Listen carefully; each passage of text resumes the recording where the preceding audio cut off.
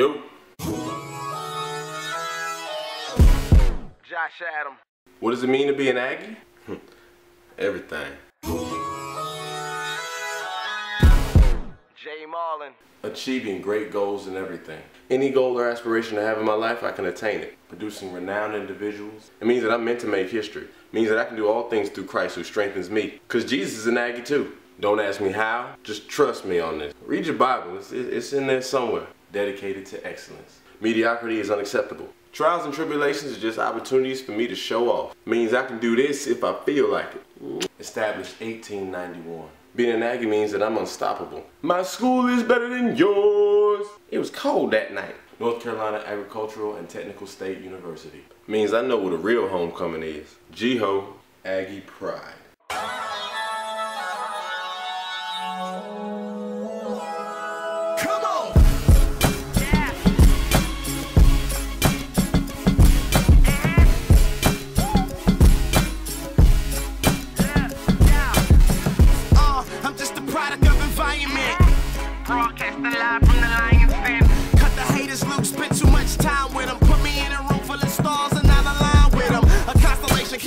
up to the sky with it. A celebration, resurrection of the rhyme splitter.